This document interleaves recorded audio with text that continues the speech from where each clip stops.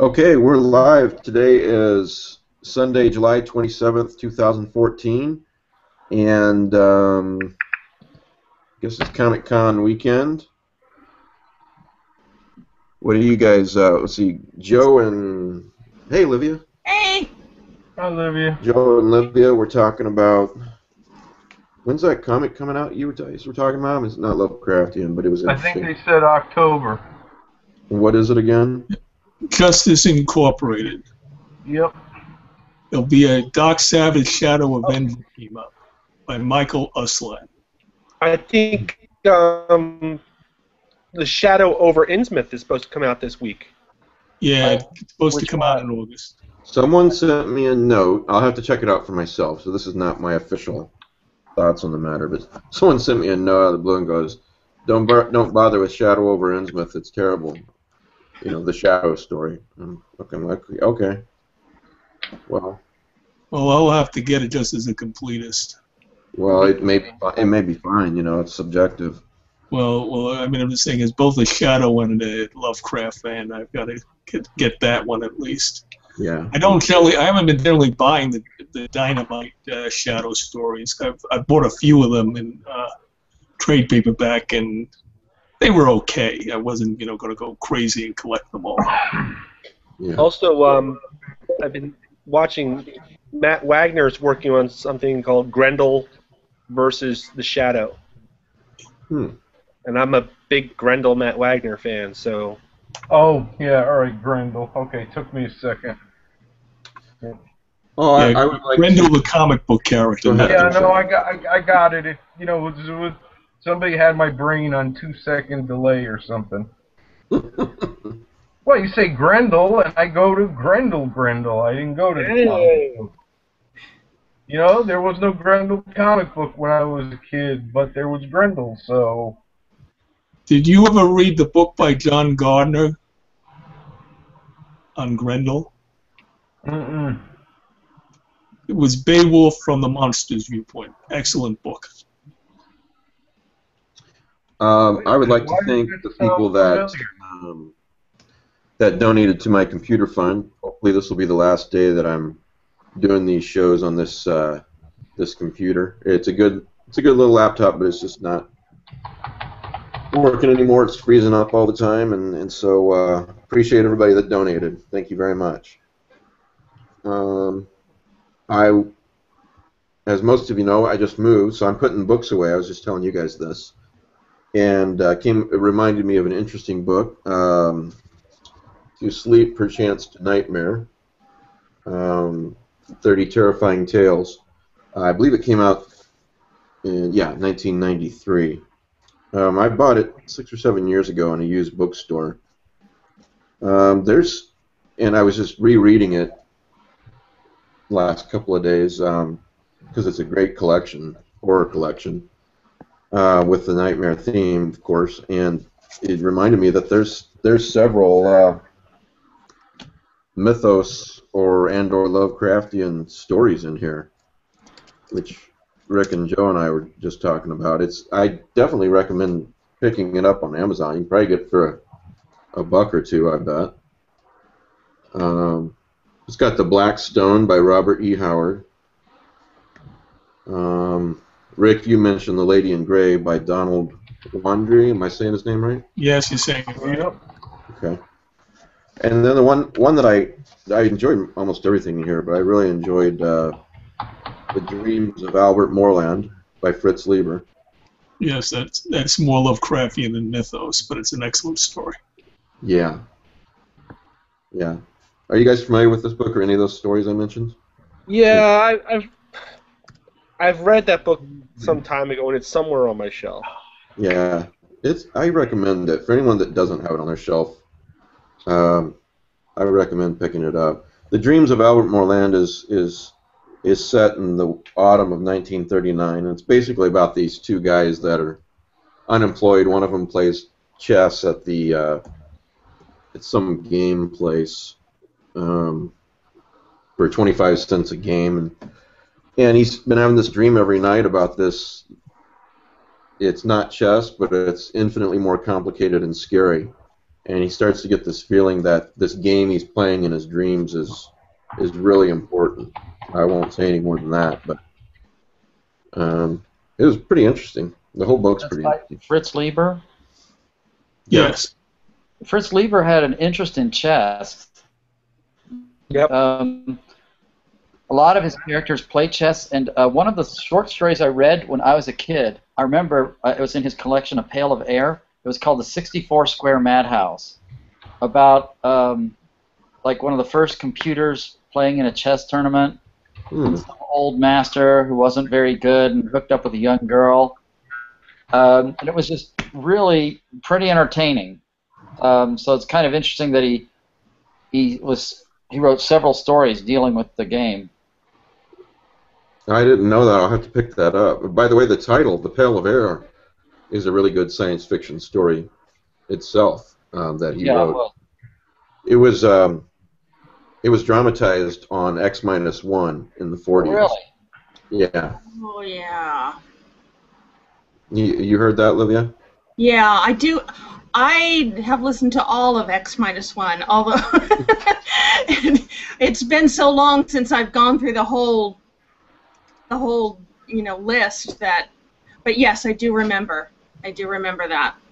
Well, a, a Pale of Air is not Lovecraftian, but it's one that stuck with me since I heard it when I was a kid, and it's basically about, uh, yeah, I guess it is sort of Lovecraftian in a way, but basically this dark star comes through the solar system or this huge planet, something similar, and wrestles the Earth away out of the solar system, pulls it out of the solar system. So Earth's not circling the sun anymore. So everything freezes, including the oxygen itself, and this family survives, and they think they're the last family on Earth. And basically, to breathe, they have to go outside and get pails of oxygen and put it on the fire and burn it, wh- wh- which is where the name comes from. So, um, yeah, that's a collection, Matt. Pail of Air. That's the title. Yeah, this was like, gosh, in the 1970s when I was first dabbling in science fiction. Yeah. It had, um, it, it was like one of the first things I read by Leiber that had nothing to do with Fafhrd and the Grey Mouser. Um, he had this uh, series going on where there were the uh, spiders versus the uh, snakes. Yeah. Big time. The big time. Yeah, that was it. Um, this was a story I think related to that scenario, and uh, they actually dealt with chess in that game too, in that book story too. The spiders and the snakes were uh, t- uh, two warring factions who were using time travel, right? Yeah, exactly. We never found out exactly what they were, how they originated. Were all these This is so long ago. speculation, like they might be some Nazi or some leftover Nazis, and they might be something else. Yeah, I, I Um, barely remember it. Brett on the message board just asked about this one again. To uh, to sleep, perchance to nightmare. Editors are Robert Weinberg, Martin Greenberg, and Stefan are. I'm not even going to attempt that last name. Mankiewicz. Yes, thank you. Um, so, yeah. And then, then uh, Robin Spriggs sent me this. Just came in the mail. I guess this is his new book. It is. It's bloody wonderful. Oh, have you read it, Joe? Yeah, I, I, I had the art several years ago, Oh yeah. and I've had that for a couple of months. Um 'cause originally that double feature press thing was gonna be it was gonna be like an old Ace book. So the Osmond Droom stuff was gonna be one half of the book, and then you were gonna flip it over, and I was gonna be the other half of the book. Oh, okay. But unfortunately, that didn't come about, even though Rob and I were really looking forward to sharing covers together. Um, so I, I've been I, I've been reading Osmond Droom stuff for quite a few years now. Everybody, everybody who liked um, the last one. I should be able to pull it out fairly easy. Or with my luck, I won't be. I don't. Diary, Diary of uh, Gentleman Diabolus for all the fans of this, and I know there were quite a few. Um, Osmond Droom is gonna really blow your mind. Um, How do you spell that last name? E What, R Sprigg? O M. oh, E R O O N. it's on Amazon. And I don't know that it's available to order yet. Yeah, Or it's, there's six pre-order. left in stock. Oh, okay, all right. Five. Read all you want. They'll make more. What what sort of character is Osmond Droom? Is he an occult detective or? Uh, Um, no, I'm not saying what he is. okay, Uh, I don't, I don't want to give away anything. Um, okay, that's fine. If it's better not knowing, I don't want to know. Who, who Well, wrote it? It's, it's, it's Robin Spriggs. Robin Spriggs, S P R I G G S. Um, It starts off like this. I'll read the first paragraph and then I'll stop. In his hometown of Withersham, Georgia, Osmond Droom was not well liked. He was not hated exactly, at least not at first. Hatred is a, is a decidedly, decidedly sorry, unchristian emotion, and the good folk of Withersham would have been reluctant to harbor it even for the vilest of souls. But Christian values notwithstanding, Osmond Droom, though far from vile, was equally far, far from loved. And the girls liked him too, apparently. He looked really interesting. No, it goes on to say that. Though, although I'm paraphrasing. mm-mm. No, I've never read any of Robin's work before, other than the story of his that I published. well, published. Robin was in a season in Carcosa, and he was in Grim Oh, right. Scribes, and Right, right. You know? I forgot. um, uh, I, I, I adore Robin's work. I think it's great, and one of the things with Diary of a Gentleman Diabolus is is the pieces. Most of the pieces in here are here's one that's a quarter page, whole page, half page. Um, everything in in this is a page, give or take. And with Osmond Drew, Drew, Robin starts to stretch out. And I really love it when Robin stretches out. That's not to say that Osmond Droom doesn't have some awfully short text like Gentleman Diabolus did, because it does. But there's a lot more of Robin um, stretching out. Yeah. Well, it's not. It's not. It's not an. It's. It's different, and different is good. This looks really great. I. I just got it, so I haven't had a chance to read it yet. But I can already tell I'm going to like it from the little bit I've scanned of it. So. And Robin's work has been praised by Laird. It's been praised by Fred Chappell. You know, magazines like Cemetery Dance. There's just not enough of it. That's a problem with some of these really brilliant writers. There's just not enough. Olivia Llewellyn, Olivia Llewellyn.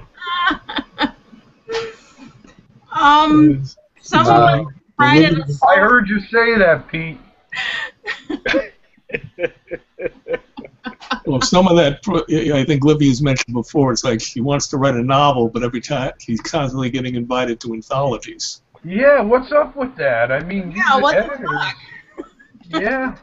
Yeah. Well, not- you know the problem is if you're going to be that goddamn good, you're going to get these leeches who go, please, please, please, Livia, oh, please, please. You know. the problem is is that I, s- I, I have a this day job, you know, um, fucking day job. Pays all the bills, which is fantastic because I love having health care and But I, it eats up all your time. I love not living in a refrigerator box. Mm-hmm. Um, but you know, it means from like seven in the morning to seven in the evening. That my whole life is about the day job, and so I come home and you know I can write for maybe an hour or two, but mainly I just want to go to sleep. Yeah, I've always thought if I if I was if I won the lottery or something, I'd pick five or ten writers that I really Yeah. like, like Mhm. and and just pay their expenses so they could just write all the time. There You know? were a bunch of us last weekend talking about wouldn't it be nice to be one of these super rich guys and we could just buy some huge piece of property and you know have a writers commune. Yeah. Yeah. I think the same thing all the time. I, you know, I play the, that stupid Publishers Clearinghouse, and you know, I buy lottery tickets. But it's not just for me. Um, there are so many writers out there who are struggling with health issues, you know, mental and physical. They have day jobs, they have families, you know, things that eat up their time, you know, and their life. And I would love to just be able to say, you know, something. Here's one part of your life you don't have to worry about. I'm gonna, I'm gonna, you know, take that away from you, and you you can focus on the other things, the more important things. Yeah. Yeah, Yeah. you know, Bill when think about if you're listening, you could you could like save the world for it with a small monetary donation. I don't want to save the world. I just want to save a couple people. Well, that's what I We're meant. such You know, a I meant yeah, I know. I know. You find, Livia, that you can only get productive if it's like on a Saturday or Sunday morning if you can find time to write because then you don't have your job? yeah, actually, for the last week, I've been going to bed like between 8 and 9 p.m. and I've been getting up at 4 p.m. and writing for two hours. And I've I've been more productive in the last week than than in the last couple of months. Just those those two hours. You know, it's only maybe five, six, seven hundred words, but it's completely quiet. It's finally cool in my apartment. You know, the rest of the world isn't up. I don't have to worry about the job. You know, I can just sit down and write and not be distracted by anything. And it, it's I was shocked that it that it came so easily to me. Um, of course, you know, when you don't have a family, you don't have to worry about you know allocating your time to other people. But um, but yeah, I think I'm I'm going to keep it up. You know, Yeah, so that I you know. can write during the weekdays as well as just the weekend. Yeah, I, I generally found the morning is the most productive time because you tend to get, you know, I've got a day job too. So it's like in the evenings, I don't want to write. you know? Yeah. I was about to say that I, I'm I find I'm very amazed. I've always been amazed since I've known you, Rick, at how productive you've been. Because you know, unlike me or Joe, you do have a day job. You know, and uh, the day job takes a hell of a lot of time. You know, as we all know. So, so yeah. Yeah, so good did advice. that. All the writers watching, Lydia's just giving you some great advice. Well, it's either that or you know, right in the middle of the night, which I've done before. But you know, I it, I've I've always been a morning person, so for me, it's morning. Well, you, Olivia, that's exactly what I do. I don't sleep much. I, during the week, I sleep maybe three, four hours, Ugh. and then on Friday night, I'll cr- I'll crash for like twelve. But I put the kids to bed around eight. Mandy goes to bed around ten thirty, and I'm I'm downstairs hitting the keyboards until two or three in the morning. Do you, do you find Pete that writing at night you're more inspired because I do, although I'm, I'm extremely tired and don't always I- the, the spirit's willing and the flesh is weak, but I night I'm more inspired. inspired. I've always done this. I mean, when I was in college, I got done stuff more stuff done between the hours of midnight and 4 a.m. than most people did all day. Yeah. Um, to paraphrase the old, you know, Marines Army commercial, but to me, writing at night, first of all, I can turn off the television because there's nothing but crap on. Um, I can put on whatever music I want, and I don't have to worry about Mandy or the girls complaining. um, Well, that's what you got headphones for. I do that. y- you know, I just I've never gotten into headphones. One I of the mean, I don't like them because I don't like having the wire in the way because I'm busy. I don't type sitting still. Um, but still, if if I don't want to bother Yeah. anybody and I want it on, on, you know. Yeah. Um, yeah, the, the problem I often have with headphones is Hmm. people take advantage of the fact that I can't hear them. They, they sneak up on me and do things. So I, I don't enjoy it. Um, Uh, Well, they do that to me when yeah, go ahead. Sorry. Oh wh- wh- when I'm busy writing, I, I go off in the zone. You you got to come in and you got to push me. Yeah. I, I don't know you're standing a foot from me. yeah. I'm not here anymore. I'm somewhere else. So You may recall the other night when I got startled by my son because I was in this zone here. Recall, we're going to make it into a best of collection of Lovecraft e-zine shows. Exactly. nice shirt, by the way. Oh, thank you, thank you, thank you. I figured I'd wear something appropriate for the dinner party we're throwing tonight. Oh, black tie, is it? Uh, yeah, Mandy's making chicken cordon bleu and, and uh, crab dip and stuff. So Oh, fancy. yeah, yeah, where's I don't see I don't see the Learjet out here waiting to. you know, Joe, I'm No, working on something. I'm working on something, and I think next Saturday at midnight, if we do a show, we will. I'll figure out how to get some pizza to somebody.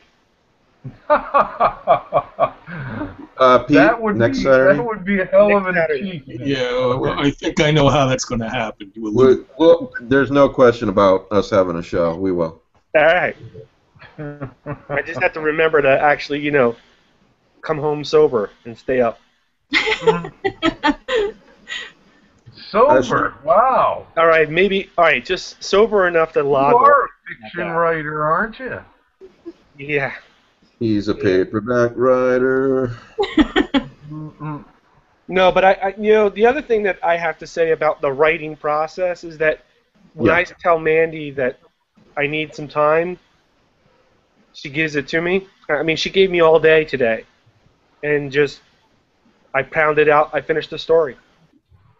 Mm-hmm. Yeah, you know what? If you're not single, you have to have a, a spouse and a family that really understand that even the slightest oh I just want to ask you one question is is jarring. You can't it when you're writing, at least for me, I get pulled right out of the zone. You know? Yes, I- I've, I've Yeah, told my wife and- that and- several and- times.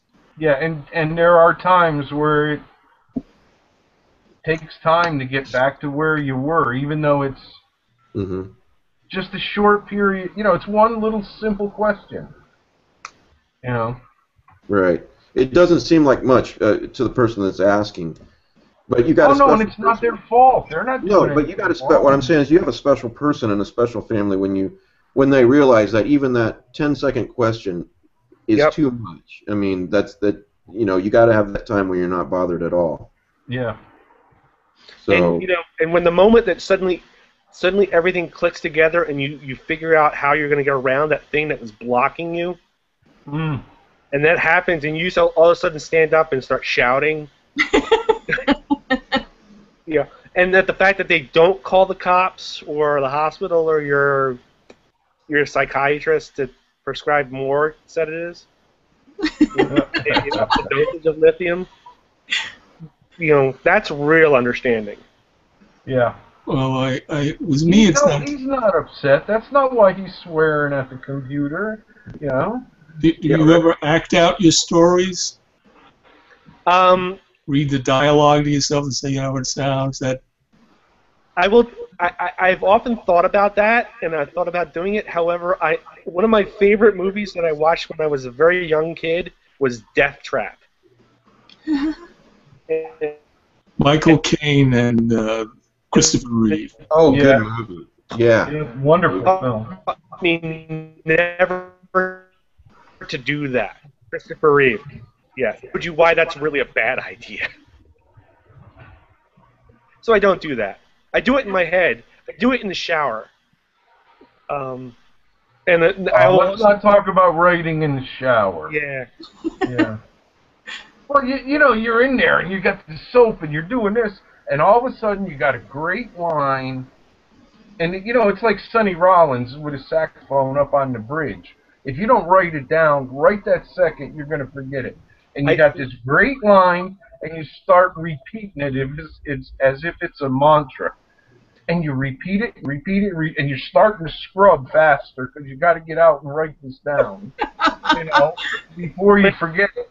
And then all of a sudden, about the 14th time you repeat the line, the sentence after it appears. So now you've got like 52 words you're repeating in your head. Oh, it's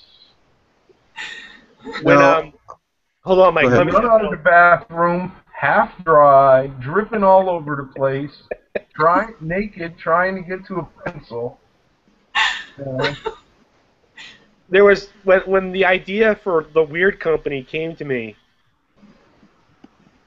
Mandy pulled me out of the shower, at, out of the bathroom after three hours, and every mirror and glass surface was covered with soap notes.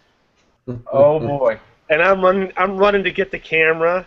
To you, I, for some reason, I just you know it didn't dawn on me to get a pencil and, and get a, a piece of paper. No, I had to pick up a bar of soap and start you know putting character names and titles and chapter outlines down the, the glass wall, the glass door, all over the mirror. And you did this for three hours. I did it for three hours, and you know The whiteboard. she walked in and she's like, "What the hell are you doing?" And you know, I'm like, "Go get me a camera. Just go get the camera." and it, it stayed in the in the bathroom for about a week before I was letting it go. Okay. Is, this is like Richard Dreyfuss in uh, Close Encounters of the Third Yeah, Kind. with the potatoes. Yeah. Did you ever did you ever write in the dark? Sometimes I got the pencil, I got the composition book, the words are coming, the light is on the other side of the room. So I'm in the dark, I can't see anything, and I'm hoping I'm going to be able to, you know, write, read it when I'm done. But I figure by the time I stop, go across the room, turn on the light, and come back, I'll break the mood. So it's dark, and it's like I hope that was an I. H A V. Livy's looking at us like we're crazy. Why? The, she's just not going to reveal all the weird ass shit that she does. Because process, every psycho, the process may be different, but we all do the same kind of thing. We just do it differently. Yeah, Christopher Yost is a viewer and a reader. He's watching right now. He says, "Joe, I do this with music and lyrics all the time." So, what are what what, what you said? All right, Mike, take us in a new direction, please.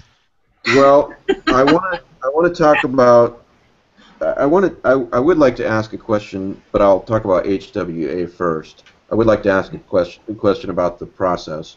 But let's talk about HWA for a minute. Um, they just they made an announcement what Yeah. uh, this past week that um, you guys are more familiar with uh, HWA than I am, but basically self-published writers are okay now for joining. You have to make at least two thousand dollars a year or something like that. I, I, Bro, yeah.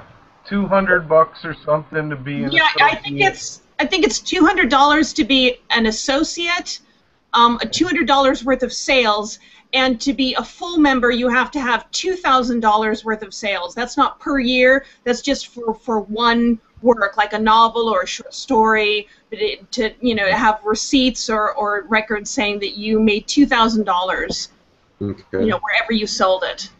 So my first question for you guys, for the panel, is is I have, I have two main questions. We can discuss this as little or as much as you want. But my first question is, what do you guys think about that?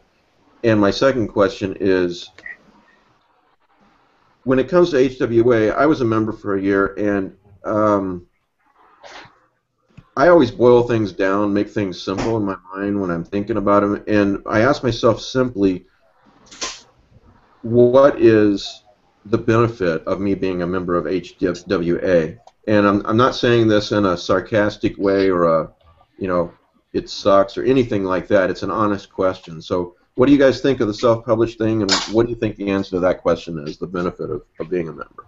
Okay, well, from an outside observer, if a person can make two thousand dollars in sales from self-published work, how is that lesser than someone who can sell two thousand dollars to the trades. You know, it's like, you know, what are they trying to do? I mean, if they're trying to like be a professional organization for people who try to make their living selling horror stories, why not? People are going to be doing more and more of this. The people who like write, you know, Booty Call of Cthulhu and don't make any money, they will they'll still be excluded.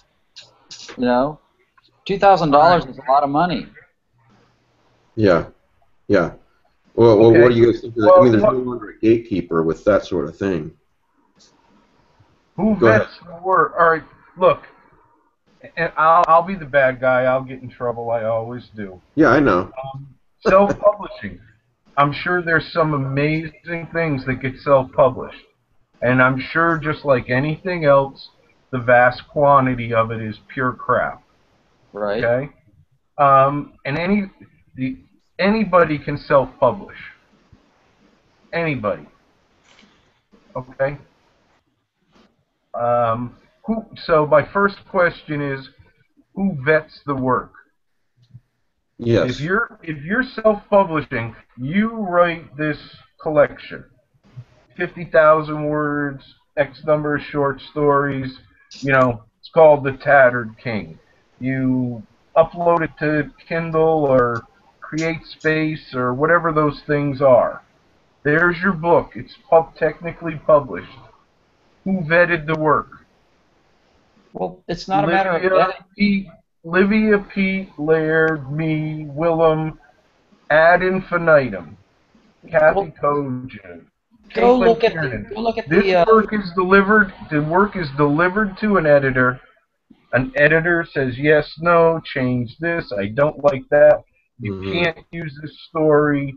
Um, hey, not this one. What about that other one? Um, you you got to bring your bona fides to somebody else. Some and it's somebody else's money being spent. Okay, it's a publisher's money being spent. It's an editor's anthology budget being spent. You you got to pass muster. well, see, the thing is, you're mistaking sales for quality. Everyone not. knows. No, I- not you. Put the book I- I- out. no, you think vetted he the book. Correct me if I'm wrong, but I think you, meaning the HWA, or Joe. I'm saying before we get to sales. Oh, Okay. all right. Well, Yeah. Nobody. This is this is the point. It's self-published. HWA says if you got two thousand dollars worth of sales, you're a professional. Professional what? Uploader? Yeah, I don't I mean, understand. come on, let's be real. Me personally, You know, I don't understand got- the criteria of wait a two minute. thousand You got dollars. writers like Pete and Livia sitting right here. These people do work. You know, when they're done with their work, okay, now I, we can get a million testimonials to how good Livia is. Okay, she's already got them. She's got them. She's draped in testimonials. Her work is that good. Okay. Well, I'm wearing right now. Just testimonials. Okay. But when Livy is done and submits, that is not automatic acceptance. She has to. She got invited to a project. She, you know, she submits the work. It has to pass muster. You know what this whole thing has made me think of is the saying that no one is a writer or an editor until another writer or an editor says you're a writer or, an editor. Well, that's. I think that's true. So, Yeah. so what I'm saying is here. Here, um, with, with an established track record, um, that's in demand, who's a solid professional, and I, I can say that as an editor because she's written and delivered work to me. Um, okay, and she got her work got vetted Mhm. and her work gets vetted. So, to, what about these other people? Who vets it? So you sold two thousand dollars. Laird, when this came up, said, "Oh, so you put out a chapbook and uh, your your mother bought two thousand dollars worth to give to your cousin and your cousin and your fifty seventh cousin and her girlfriend in Santa Rosita. Oh, look at Johnny just had his book put out. Well, that's Right. two thousand dollars worth of sales. Now I know that's that. the only criteria. eh, Now I know that Pete has to go at the top of the hour, so I, I want to hear what Pete has to say about this. All right, so uh, long, well, full full disclosure here. I was a member of HWA uh, years ago, before I was uh, started really writing. After I sold my first short story, and then went into a lull. But then I, I dropped out.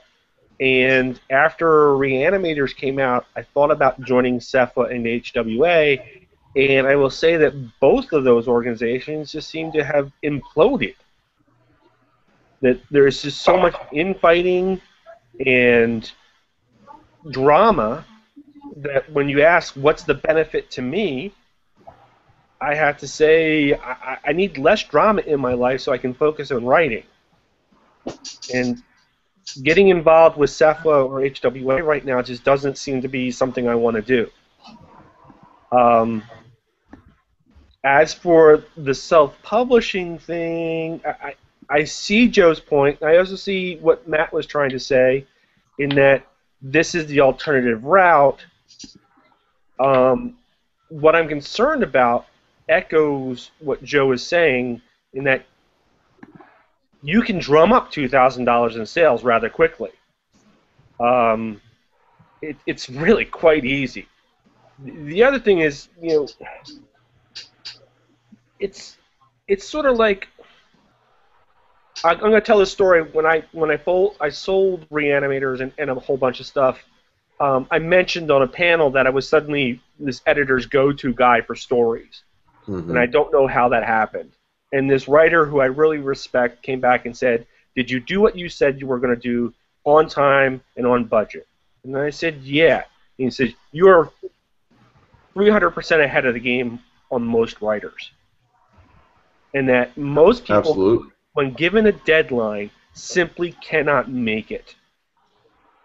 And they will throw everything in the world so at, to, to, as an excuse. So to answer your question, what makes a professional besides sales? Acting like a professional. Doing what you what you said you were going to do on time and hitting that deadline and producing what you said you were going to produce. And otherwise, you're looking for another publisher, and you can keep doing that, but you'll you'll eventually run out. You'll uh, you know lose your reputation. Exactly. So there's that other factor where if you're self-published, you could take ten years to write a book, and the only person you have to ha- make happy is yourself. And that mm-hmm. might be okay for some people, but for other people, you know, if I'm going to work with Joe, I know that Joe has a deadline. Yeah, you know, and I think it also it I've got I've got a couple of editors that the novel I'm working on, the short stories I'm working on, and I'm slow. I grant you because the eZine keeps me so busy. But they've said, Mike, as long as it's decent, you know, we're very interested in looking at it and probably publish it. My point is that it's horror, Lovecraftian, and I wouldn't dream of using the Lovecraft eZine to publish it or to self-publish it. Um, I'm also working on a, I hate the term, but we'll just use it anyway, a self-help book of sorts. And I don't see the advantage of not self-publishing something like that. Um, there's there's no reason not to. Um, I will tell you, as a former bookseller, I wish more self-help public books were published by themselves. Mm-hmm. Um, So it, it depends, certainly. Um, you know, I don't truly, I mean, it's, and I say this without any malice at all. HWA. It's going to get them a lot more members. What's that? It's a, it's a good thing for the HWA because there's all, it's going to get them a lot more members. Yeah, I saw right now they have about 800 members. You know, but Okay, so as I was about to ask, what I and I say this without I I asked this without any malice at all. What is the benefit of of me as an editor or a writer or anyone else joining HWA. In other words, what does it get for me? What does it do for me? Do you, you want know, an honest answer from me? I'll absolutely. It absolutely. does absolutely nothing unless you want a Stoker Award. Um, I think uh, organizations are fantastic marketing tools and promotion tools, but in my opinion, both HWA and SFWA are for people who want to market and promote themselves specifically to HWA and SFWA members. And there are very specific awards associated with those organizations. And there are, are people associated with those organizations that maybe as a writer you want to be associated with. Um, but joining those organizations, in, in my opinion, doesn't make you a professional or not a professional. It's just it's another marketing tool. Like, do you want to join Twitter? Do you do you want to be on Facebook? Um, I'm not in HWA. That doesn't make me not a horror writer. Um, you know, but if I wanted a stoker, or if I wanted in some way to associate myself with people who could get me a stoker, then I would join HWA. I mean, I know that sounds absolutely horrifying, disgusting, and repulsive to say, but that's the only reason I would join is so that I could market the shit out of something in the hopes that I could get a Stoker nomination, which in and of itself devalues the award. Which begs the question. Another thing I was going to ask was so, what you have to say, Olivia, begs the question of reason if you're a member of HWA, are you more likely to get a Stoker than if you're not?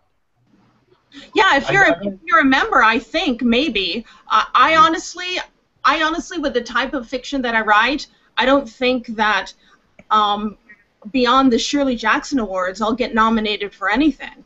Um, I, I just think there's still too many people who just see what I write as being really repulsive um, and, and too female. Um, but that's that's a whole other issue. I just think that for certain people, yes, a Stoker Award or a Stoker nomination would be a fantastic thing. And and so for people, whether they're self-published or published professionally, or I should say by legacy or whatever they're calling other you know traditional publishers nowadays, you know if they want to join the organization and if they want to try to get a Stoker nomination and and network with that group of people, then I think it's fine. But but it has nothing to do with writing. Writing has nothing to do with organizations. It's it's Or awards. Yeah, or awards. Yeah. It's it's what you do at four in the morning or at midnight, you know, and the conversation you have between you and the editor, you know, or whoever is cre- you know helping you finalize, you know, that whatever what eventually gets published. It has nothing to do with organizations at all in any way whatsoever. If I if I uh, eventually ever publish a novel, I would love to join um, Authors Guild. Um, but really, why would I join Authors Guild except to get health insurance, which I already have? So, and it wouldn't help me with my writing at all in any way whatsoever. Pen America now, Pen America, you know, um, you know, works with writers who are being oppressed and tortured in other countries, and you know that that might be a good organization for someone like me who's interested in, in helping those people. You know, it would it would be interesting to join that that organization, but the other ones, no, they won't help me as a writer. They won't help me get awards. They won't help me at all. If, if All right. people don't want to read my shit, they won't read it. You know, Mm-hmm. the editors. No, sorry. No, it's okay. Go ahead.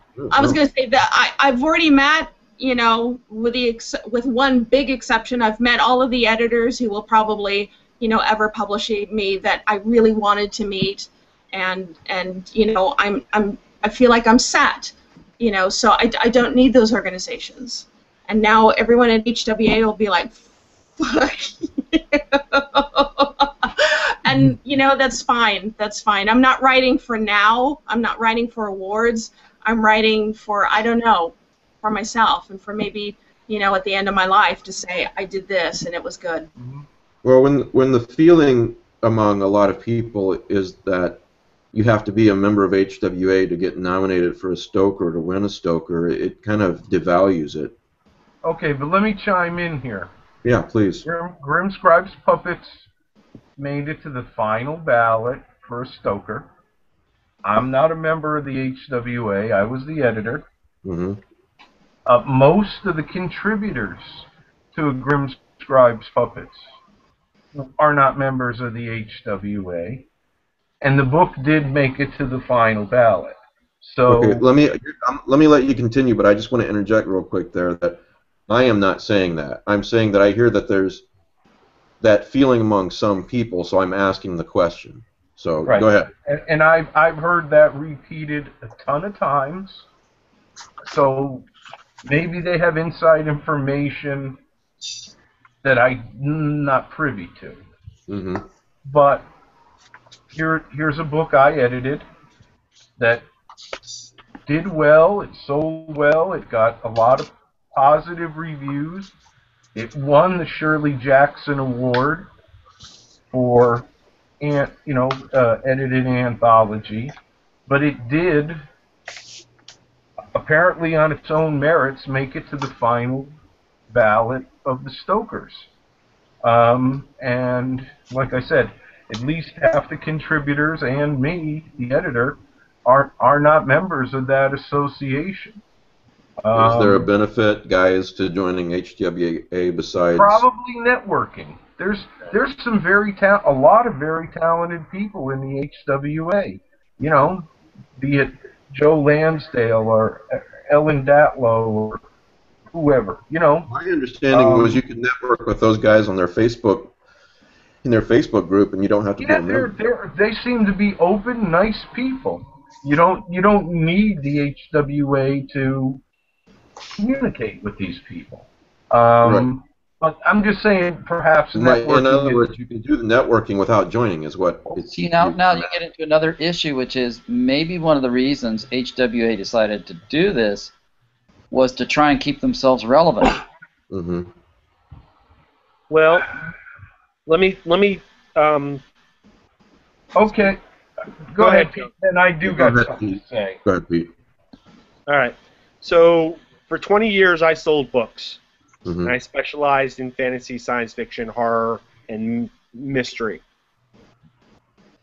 I can count on one hand the number of times somebody asked me to give recommendations of books that won the Nebula or the Hugo.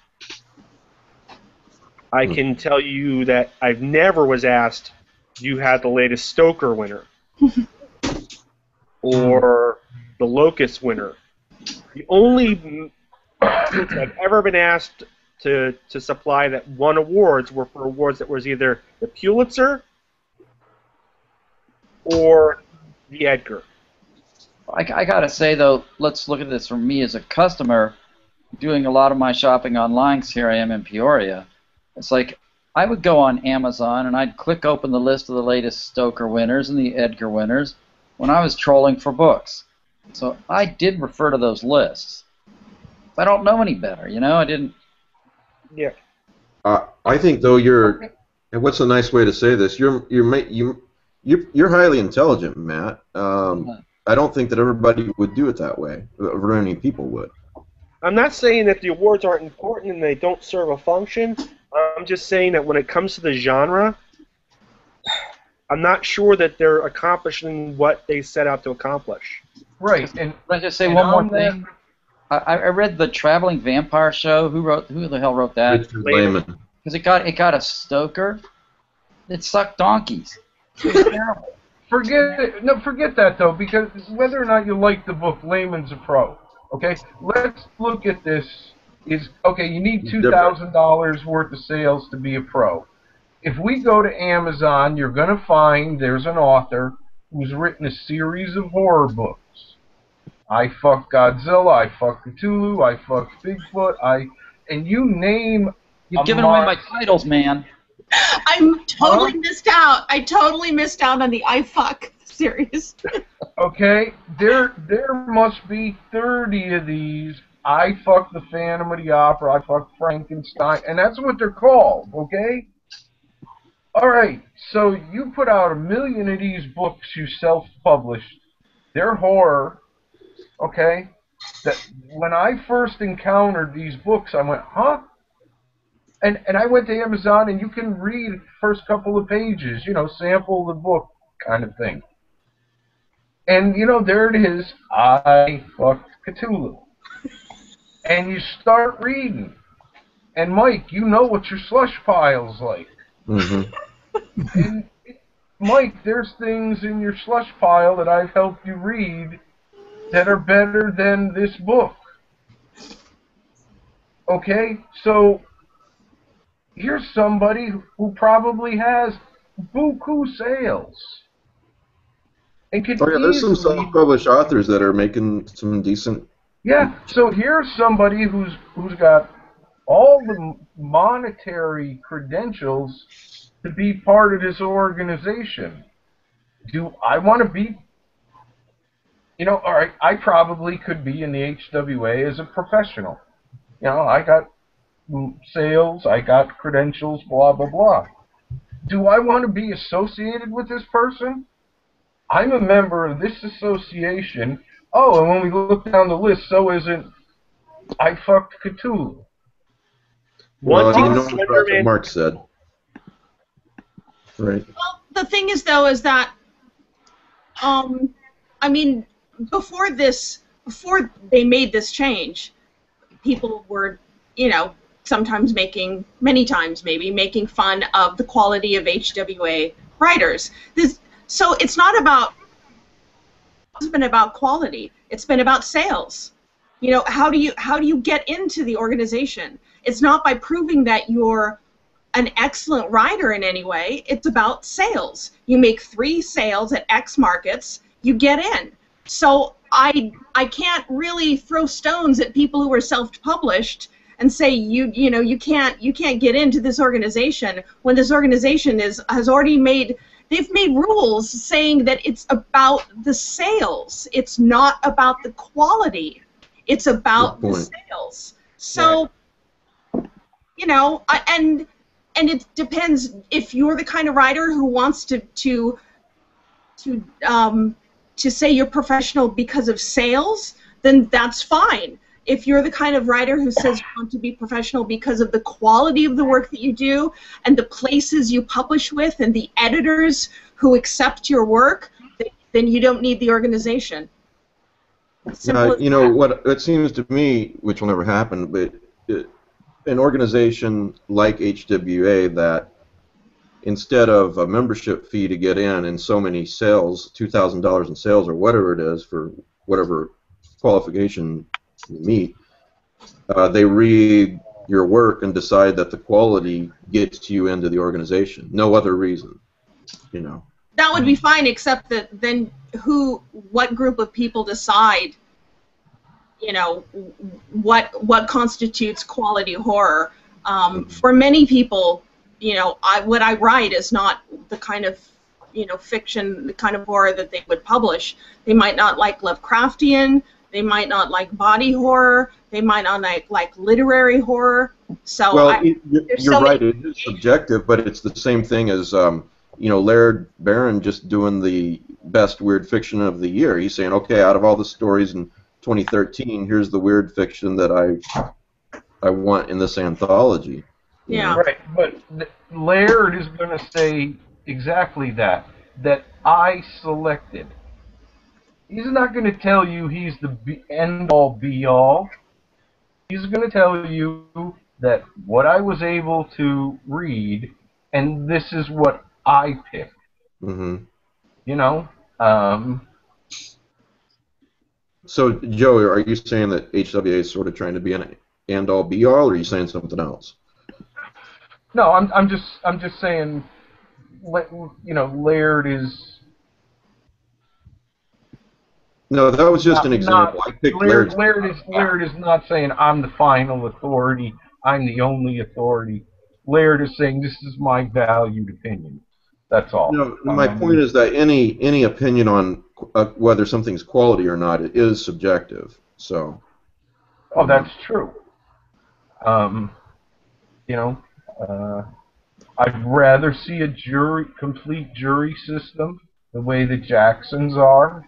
Mhm. I agree. Um, uh, and, and and yeah, I, okay, I just won a Shirley Jackson Award. Trust me, I'm extremely, I'm still giddy over that. Um, you know, Livia was nominated. I'm still giddy over over that. Um, Okay, but so previous, pre- on previous to this year, so that bias aside, previous to this year, Mhm. when I look at the, those works, I I was impressed.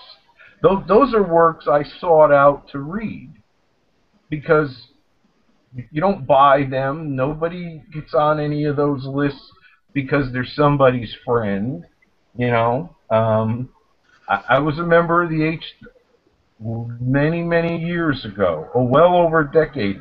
I was a member of the HWA for five years. You know. Um, So I thought, okay, I'm I'm new with this. You know, I'll get tips and they'll tell me. Now, there's one positive: is the HWA has a newsletter.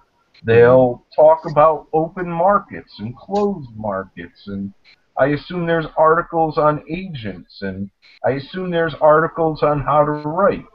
Um, yeah, and and, that's that my stuff- question. My question about whether are there benefits isn't an ironic, sarcastic. Oh, we know there's no benefits question. It's an honest question. So yeah, and, and, and I'm that's not trying. There's one. That's one of the benefits. Now, on the Uh, message board, Joe Contour has a question about HWA or similar organizations. Here it is. But what if you have a beef with somebody on the board? How do you keep from being blackballed? You know, and does this happen? That kind of thing. Um, I don't know. I'm not in. I Yeah. don't know. I don't know either. hopefully, hopefully it's. You'd like to think a professional organization. You know, that won't happen, but you Yeah. know, So All right. Let, let's go someplace else. yeah. So Can I- okay, can I uh, say you know, what's that? go ahead, Livia. I just want to say that um, I was in HWA for a year. I was in SFWA for a year. Um, and, and just what I learned about myself was that I have my own criteria for being a professional writer, in particular, a professional horror writer. and um, you know, I have a I had a small spreadsheet with a very small list of goals. You know, being in an anthology, um, you know, edited by Ellen, being in in a best of with Ellen. a lot of it had to do with Ellen. Um, Yeah. getting a Shirley Jackson nomination, you know, being professionally published, you know, in in a market like Subterranean Press. You know, I think that that ultimately every writer needs to decide for themselves, you know, what goals they accomplish would make them a professional writer. And and if joining HWA is one of them, then I and they're self-published, I think they should go ahead and do it. It's not for me. It's not for a lot of horror writers, you know. But you know, I think everyone has their their own goals, And and you know, you you need to do what you need to do to achieve them. And if Well, let me joining close this. Um, con- go ahead. I'm sorry. No, I, I was kind of wrapping up. You know, if joining HWA is is one of your goals, then that's fine. It actually was one of my goals at one time, and I, I realized after a year it, that that wasn't what I needed. Was it So I left. expensive? What were the yearly dues? Um, I think right now they're like seventy or seventy-five. I, I, I think it might have been around sixty or sixty-five when I joined. It was about seven or eight years ago. Well, let me let me close this particular topic with this, just to say this: I'm not against HWA, and hopefully the questions I've asked just now, um, I've made it clear that these are honest questions that I do, don't have the answers to, and I want p- opinions on. But if but we have to be able to have honest conversations about this and this type of thing. So Mm. that's why I wanted to discuss it. So Yeah, I'm sorry, and I'm sorry if I was heavy-handed, but no, not at all, not at all. I I think it's I worth mean, now one other one other thing is, is I know the HWA has quite a few local chapters. They're they're like HWA writers groups. Um, again, you know, if, if you're the right kind of beginner and you want to write horror, there may be very good advantages. You know, Yeah. um, I just like I said, opening up to anybody who made two grand, I just don't see that. You know, eh, let's talk about self-publishing and not the HWA for a minute. If you're going to self-publish, like I, I talked about this one book I'm working on that's going to be self-published, you know, that doesn't mean that you can't have several editors looking at this, telling you which parts are crap, and No, you know, you need more, more than your own opinion, You- you- no matter if you self-publish or not. Okay. Cisco just had a bunch of ebooks come out. They were put out by the Vandermeers. They got vetted. I mean, they were already out as as, as trade paperbacks, as hardcovers, so they were already established.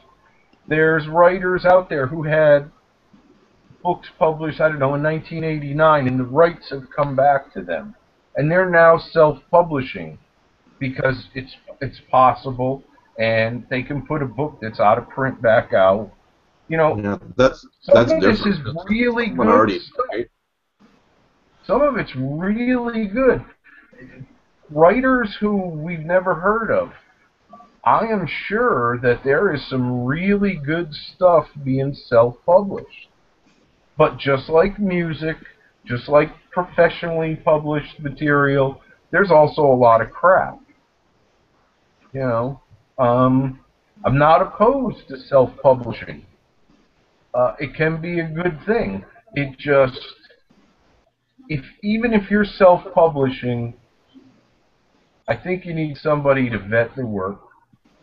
Um, um, you need. You don't want your your friends putting up reviews. There was something that came out a few months ago.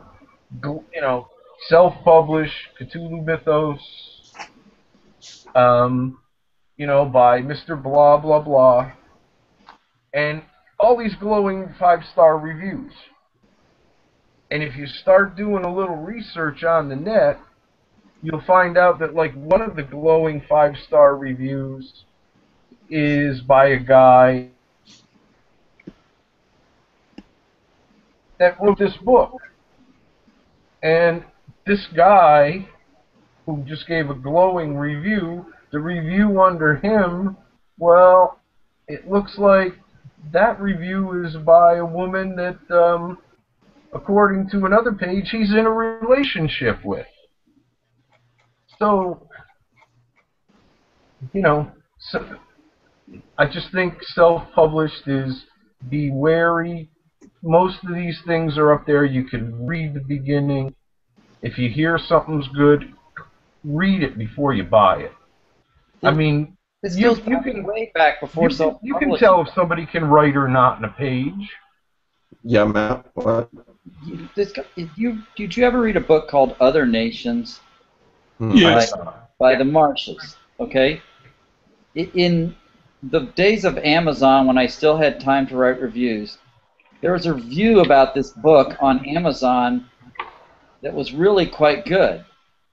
And it, it took me some digging. I figured out it was by the author. And Hmm. I got into a kind of a flame war in the old days of alt.horror.cthulhu with her. About like, Oh, okay, okay. I think I know who you're talking about. yeah, now. I, I uh, It's like, co-wrote how could you something with do uh, this? Bob Price once. you know, you got in a flame war with her, and you're still alive. You you, got moats and stuff around your house.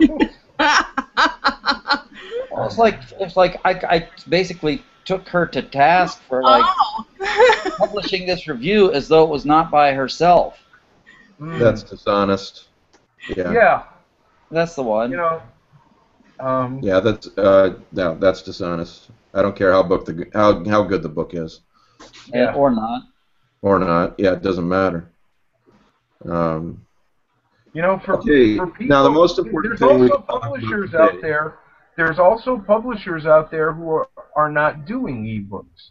So they may buy your book, and it may be a good book, and it got vetted, and it got vetted by a serious editor or whatever. But there's no ebook, so you can put an ebook out on your own. You know that, that, and but that's not the same type of self-publishing I'm talking well, about. Well, no, It's that's that's true. It's not. Um, Well, let me uh, ask a question. Of, let me ask a question on a different topic, but related to that. I noticed um, some people complaining, justly or unjustly, is what I want to ask you guys. Um, there's, I'm not going to mention the name of the book, but there's a, a, a Mythos book that was just published, and it's an expensive Mythos book. And before, n- not only is it more expensive than most of us can afford, but it sold out extremely quickly. So there's some people that wanted to read these stories, wanted to buy this book that a can't afford it, and b because it, it's there's only a limited number of copies, they can't buy it even if they could afford it. And some people were complaining about, well, why don't they make a Kindle edition for us poor people? Um, go. what are you guys' thoughts on that? And I'll tell you mine after you guys talk. Well, I, I Oh, like if it, if it, Yeah, go ahead, Rick. I, I like these reprints to be inexpensive. That's why we're you know, much as I, I do buy a lot from I started to buy a lot from Centipede, but I mean you know, th- those are taking a big chunk. yeah. And it's like Chaosium gave you these nice, decent hardcovers which weren't too expensive, and uh, F- F- Fedogan and Bremer is uh, you know a little more pricey, but not that outrageous. They're nice books, but we can usually afford them if we save up for a week or two. Yeah. Well, the, the, the, and to me, some, the I, I think some of these publishers are a few of them. You know, they're going to put out this expensive hardcover, maybe it's in a slipcase, it's got all the bells and whistles, and then you know, in a year they'll put out the twenty dollar trade paperback. And Yeah, but I'm that, talking I about a situation where they're saying they are not going to do that. No ifs, ands, or buts. If Oh. you if you couldn't afford 150, 200 dollars, whatever it was for this book, and you didn't buy it in time, you are out of luck for all time. That's what they're saying. Okay, all right. Then I think then I think the publisher does readers a disservice I think it also it does the writers a disservice, yes, especially I was I was going to those get writers because- who maybe you know there's a couple writers in there this is their first really big sale they're really excited they think a lot of people are going to read their stories they're going Mhm. to get a lot of publicity and there's nothing you know nothing Yeah. because the, So, Mike, I, I know what you're talking about. Yeah. Go ahead. and I know somebody, and and I know somebody, in the context of a conversation once, and everybody was joking around, and and I said, "Geez, I'm sorry it wasn't a hardcover. I would, I know how cool that would have been then for you to have your first thing in a hardcover." And and the person said, "No, are you kidding? It's, it's a twenty dollar book. People get to read it.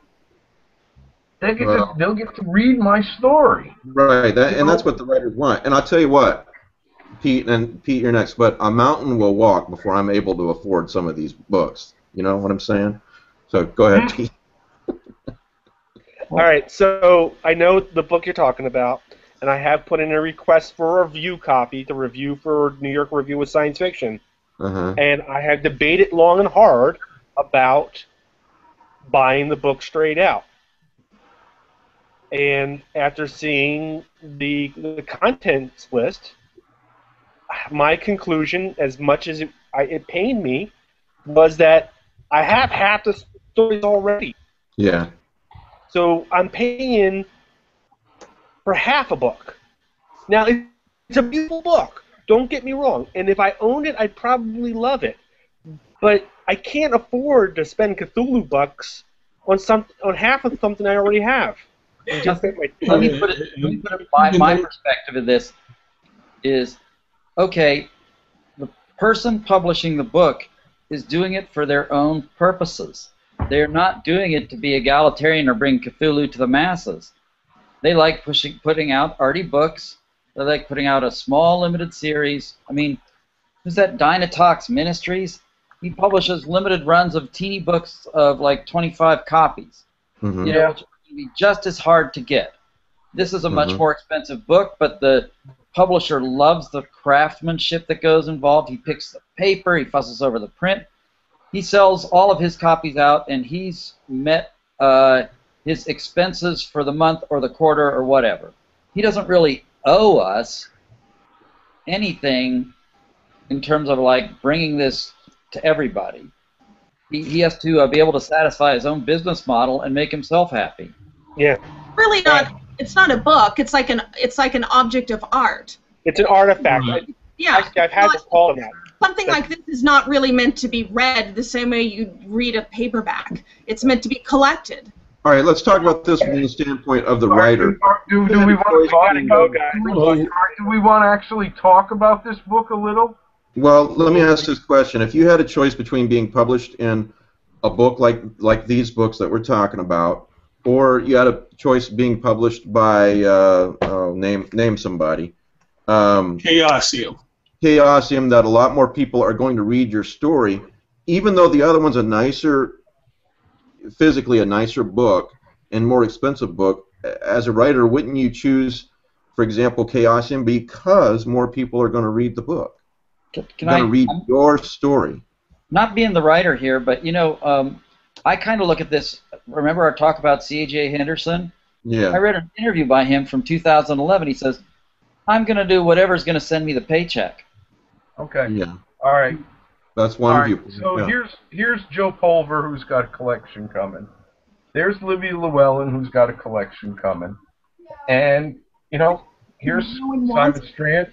Here's Simon Strantzas got a collection coming, and here's Daniel Mills got a collection coming, and Kaaron Warren, and Kath.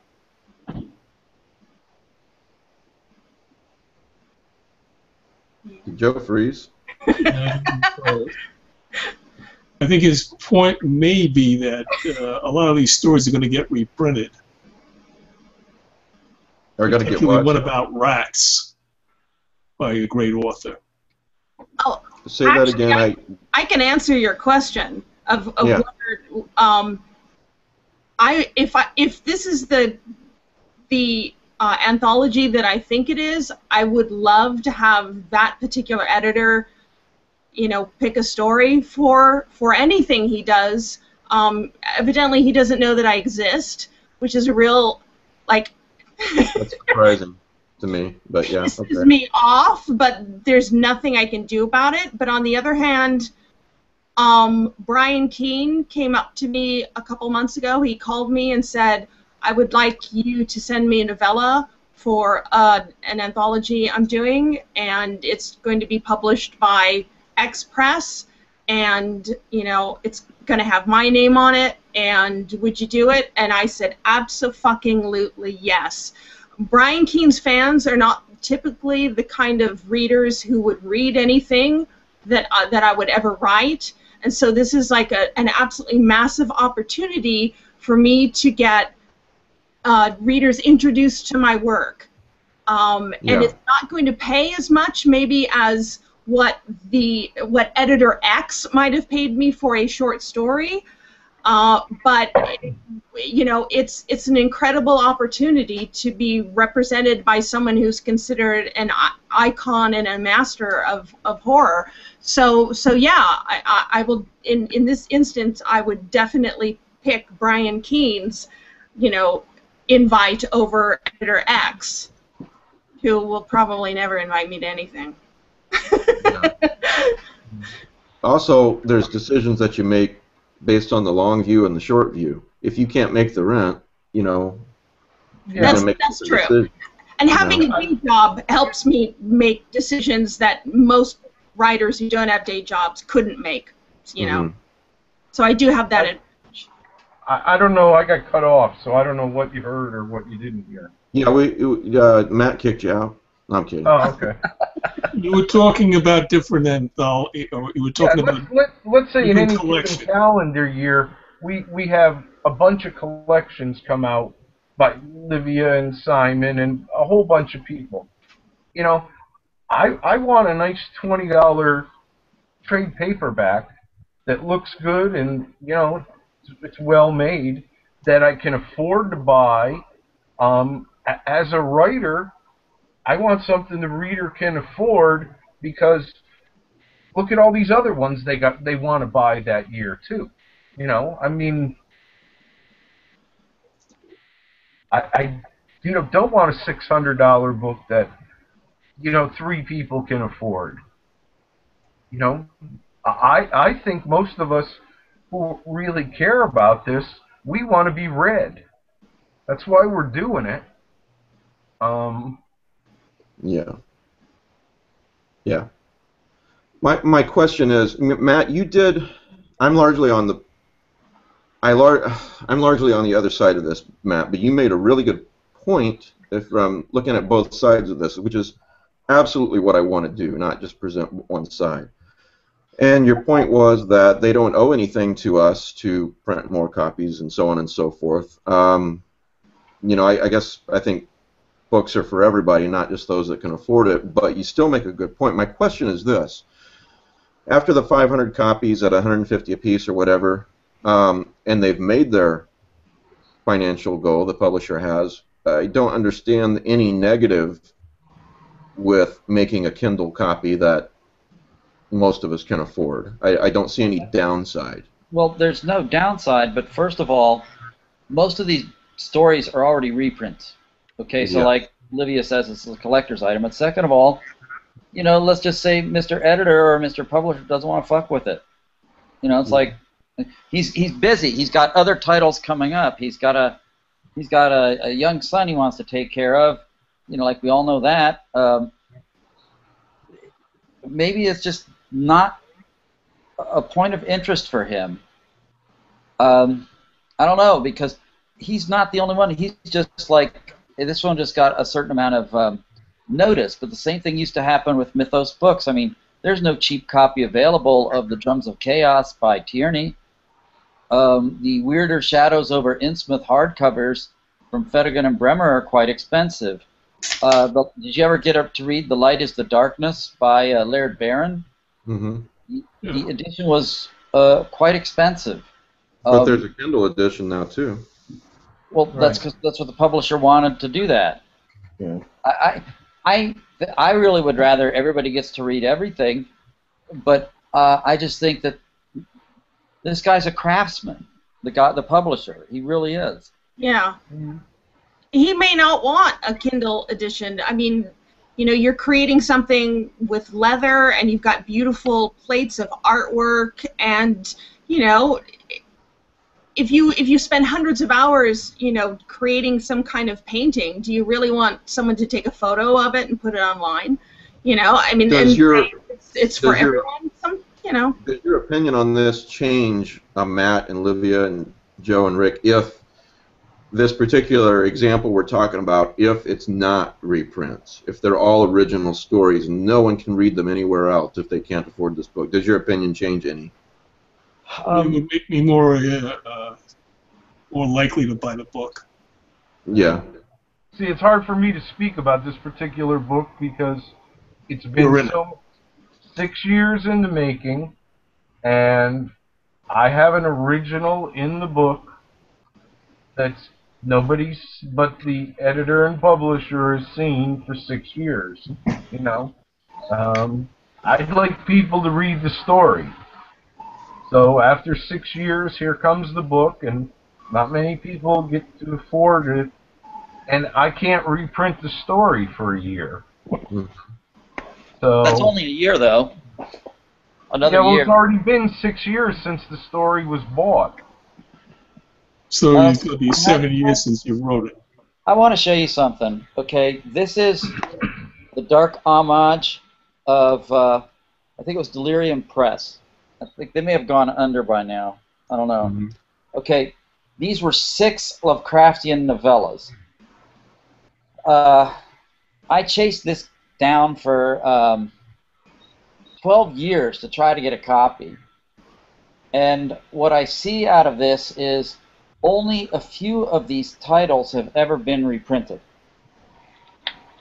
Um, here's one by Matt Cardin, The God of Foulness. Hmm You, you know, so so I don't know. It's like uh, I I just think that uh, by now, after this many years, the title should have reverted back to the author, and he should be free to publish it in another forum or self-publish it. Well, he may well. Right. Who, who knows why he hasn't? Um, uh, Well, you know, I, I mean, ultimately, I think, I, I mean, I've heard Laird say that he'd like his work to be read. I, I know I've heard Cisco say he wants his work to be read.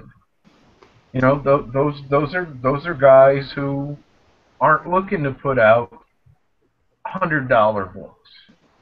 Um, now, if you're going to do that, if you're going to put out, you know, the hundred dollar, you know, seventy five copies slipcase, and then you know, uh, fifty five dollar hardcover that's limited, and then a trade paperback. Oh, okay, cool. The collectors that's- that's can have their expensive volume, and you know everybody can pick whatever they want.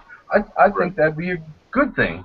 Um, but end of the day, for me, it's like I want something that readers can afford and can get their hands on. Uh, You know, Um, ultimately, I, I'm in agreement. I'd really rather everybody gets to read everything because then it can lead to, you know, more discussion and sharing, and I can talk to my friends about the stories, you know? yeah. But uh, I just feel like that's what we want, but the uh, producers are in, in no way obligated to do that. No, Well- but and, and the other thing too is is like the book we're all talking about. That is a specialty publisher. They don't make any bones about the fact that they're a specialty publisher. They're not publishing for the masses. Um, you know, so my biggest problem is what um, I think Livia said. I got the Masters of the Weird Tale Lovecraft by Centipede Press, mhm. and I went to actually try to read it. So I was sitting on the couch and I put it on my stomach and I couldn't breathe. So heavy. Heavy. Yeah, I can barely lift those books. Yeah. Not so much the the, the Kuttner and the and the uh, Belknap Long and the Jacobi. Oh, you know the the Machen and the Blackwood are like Oxford dictionaries. You need a podium for crying out loud. They're they're unbelievably massive. You know, um, ultimately, there are two sides to this, um, and I'm glad, just like with the other topic, we can discuss both sides. So, uh, but again, you know, things like this are worth discussing. So, Well, Uh, one thing I, I, I just want to point out is that even if you get your mass market paperback, depending on what how the publishing uh, industry is working at the time, it's not a guarantee you'll be able to pick up a copy. Because I remember Yeah, when, when I was reading in the 90s the Azathoth cycle by Bob Price, he says, Oh, here's a story called Idiot Savant. It's by C.J. Henderson. He's got this great series called Teddy London which I had never heard of. There's six books already. They've only been out for like hmm, two years. So I order them. I go to the bookstore. I can only find the first one and the last one. I write to the publisher. The four ones in the middle are all out of print, even though they're only two years old. Hmm. the, Well, I mean- Before the internet, I wouldn't have been able to pick up the ones. Well, avail. We're talking about availability. Look at look at what's going on with with Amazon and what's the other place, Hachette or something. Hachette Book Group. Yeah, I mean, there's a whole passel of books you can't get because Am- these people do not want to kowtow to Amazon's demands. what are you talking about? It appears that Amazon wants a group of publishers to allow Amazon to buy books at a certain price. You know, a discount. Mhm. And these publishers can't afford to sell them at that discount to Amazon. Their books are already discounted. So Amazon has just stopped carrying all these books. Or what seems to happen is they have the book say they say they're carrying it, you order it, and then it just keeps getting delayed, delayed, and delayed. And unless you cancel the order and order directly from the publisher, you're never going to get that book. Yeah, you know, Scott Nicolay just emailed me the other day and said Dennis at Fedogan, I never remember if I'm saying it right, uh, Fedogan and Bremer, um, Scott's book, um, Ana Kai Tangata, the Amazon suddenly has an issue with it they don't understand, and it's not available to Amazon, just out of the blue. Yeah, I, I had to cancel my order of that and and buy it know the directly from the problem publisher. that. I I mean, that's one thing I've, and I've heard this from several small presses because I've worked with a whole bunch. A lot of times it's very difficult for them because Amazon wants such a deep discount to before they'll even consider buying the book. So, you know, you look down, it's a twenty dollar trade paperback, you know, um, but that's not what the publisher's got to sell it for. Right. So it gets harder for that really small press to make any money off of that book because they're, you know, um, when it, whenever possible, you know, especially, especially if it's a writer in a small press you really like, buy from the small press. Yeah, you're you're paying a couple bucks more, but that couple bucks more is helping the small press and helping that writer. You know, Well, and I'll tell you, I I'm a publisher, small publisher, and so maybe I shouldn't be the one saying this, but we should thank our lucky stars for for small publishers. You know, Chaosium on down because they're not in this for the money. They're in it to bring these books to people. You know, most of oh, them. They're Derrick, not making any goddamn money. I mean, none of us are. Derrick at Hippocampus has been doing this all these years. It's a la- Yeah. really a labor of love. It is. That's exactly Uh-huh. what I'm saying. He's not. He's not getting rich off this. Dennis No. is not getting rich off this. He's spending his retirement money on it. You know. Yeah. Um, yeah, let's face it. Very few small press books become hits. You know, But yet they're they're bringing us stories that wouldn't be They're- available to the readers yeah, if they weren't there. You know. Yeah, they're they're putting out things like Engines of Desire. You know, this is where the really great books are coming from. You know, uh, Simon Strantzas' new collection, like Burnt Black Suns, is a hippocampus book. You know, Well, those of Uh, us who are Lovecraftian and Mythos fans, we've been dependent upon the small press for forever. Yeah. The major publishers wouldn't give us anything except yet another book of Lovecraft reprints. Yeah. Okay, in in 1999, um, one of the Brian Lumley, who at that point was a tour A-list writer, author, selling buku books. All his Necroscope stuff was selling like wildfire. He wanted Tor to put start re releasing um, put out some of his Cthulhu, you know, mythos stuff. He wanted Titus Crow back in print and this and that. And Tor didn't want to talk to him about it. You know, this is one of their A-list authors. It's time to renegotiate a contract.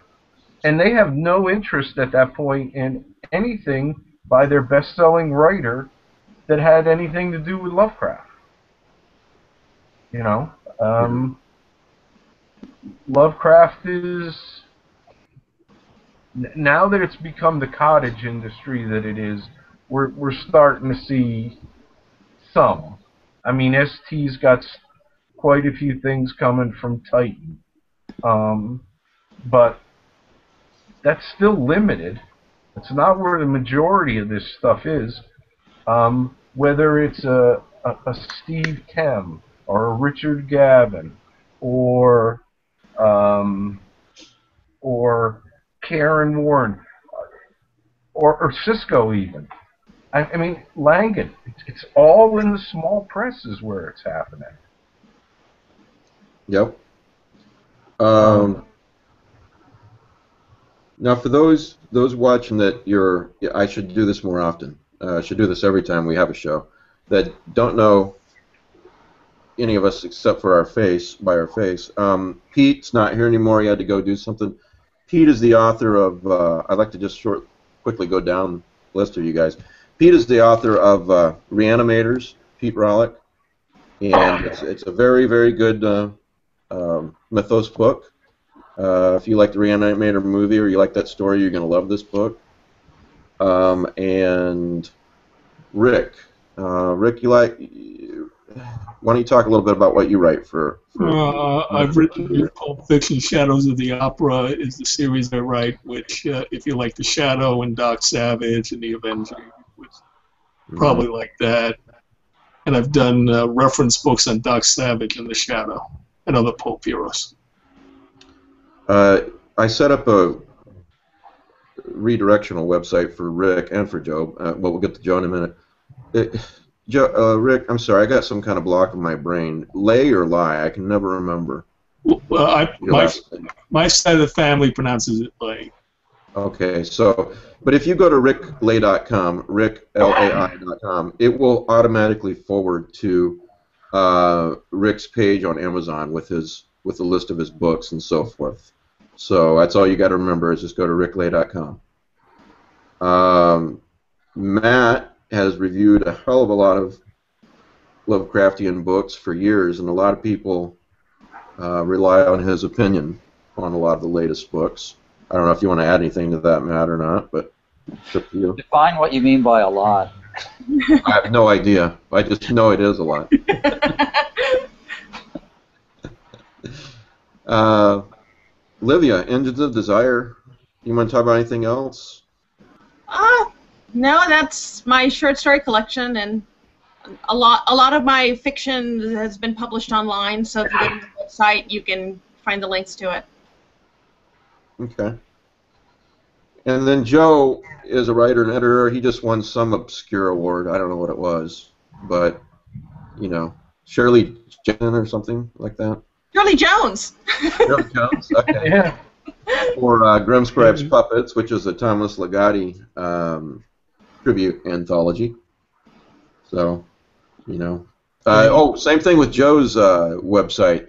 Go to joepulver.com. It'll take you to his Amazon page. Joe, you can add anything to that that you want.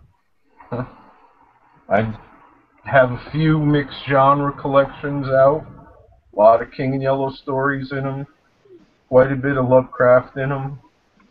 You know, like like Livia, I've been in a whole bunch of various anthologies.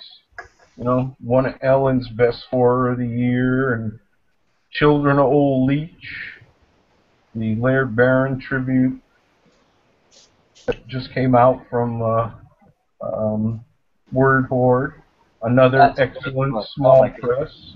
That's really a good book.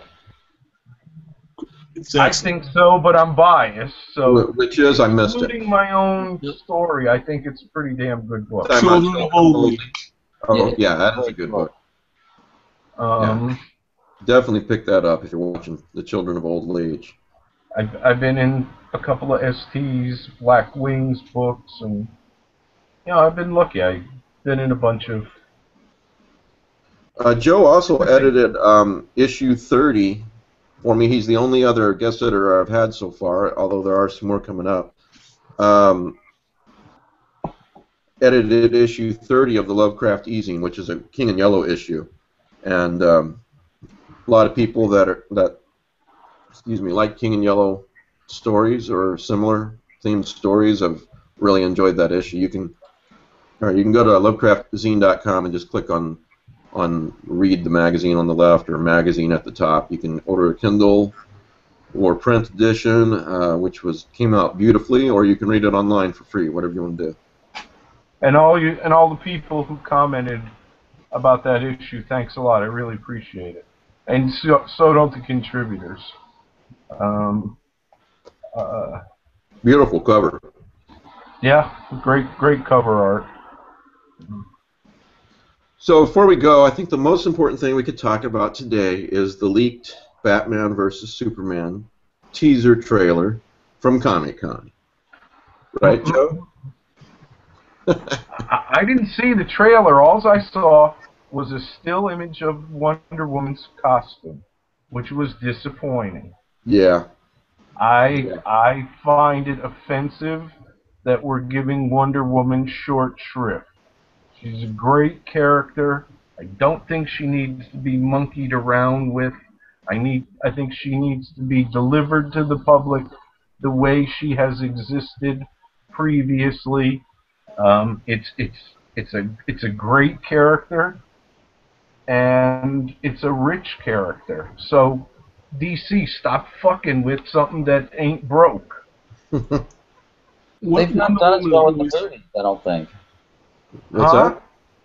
For the most part, they haven't done as well with the movies with their No, well, their movies. adapting well, Green Lantern. They they tried to stick too much stuff in there. You know. Well, they've done a great job with their animated movies. I mean, they're really excellent. No, if if if they had done the Green Lantern animated film as li- if they had taken that script for the live action, that would have been an excellent introduction to the character for you know um, Middle America that's unaware of Green Lantern. What they produced was too much. They stuck too much in there. They wanted to get too much accomplished in in the context of a single film, an introductory film. That, Mar- that, Mar- Marvel has a better business model at this point. that, that's the problem with most superhero movies. In that they try to introduce the hero as arch enemy right away, so he has a grand fight. they need to gradually build these things. hmm Which is like- what Marvel Marvel's done, a piece at a time, you know, until we get to a point where we can just put out a Okay, you know what I said earlier about presenting both sides of everything? I lied. This is a DC show. Okay. Kidding. I, you know. I'm not saying that because Joe Pulver's a Marvel guy. So Well, no, no, well, no, no, no. Yeah, make mine Marvel indeed. I'm a Kirby fanatic, but you know, there, if if the top three superhero movies get made solely by what I want, it's Doctor Strange, it's the Inhumans, and it's the Spectre. There's a lot of DC I like. yeah. I, I think they're stupid not to do the Spectre. Uh, Why isn't DC doing the Teen Titans? If you go to They make it Teen to it. Titans of Wolfman and Perez, that first couple of those first 20, 24 issues were wonderful. Those, those are great characters. It was great storylines.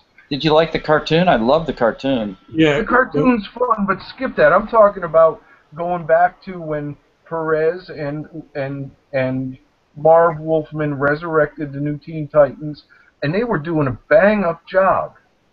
You know, DC has properties. They're ju- they're just focused on a couple of icons and Well, they can't made- get their head out of their ass. they made the Teen Titans as Young Justice, which was one of those cartoon series they ever did. Birds of Prey would be a great movie. It I'm sorry, uh, but Brett. George, Brett George on the message board just reminded me. I posted about this three or four days ago, but I never would would have read this comic in a million years. But somebody on the message board told me I should pick it up. I did, and I put I posted an article about it um, about the uh, afterlife with Archie, number six. Oh, Have any of you guys read it? My copy's on Sabrina order. Teenage Witch is the bride of Cthulhu. She's the daughter of the King in Yellow. You, I, there's no way I'm reading that.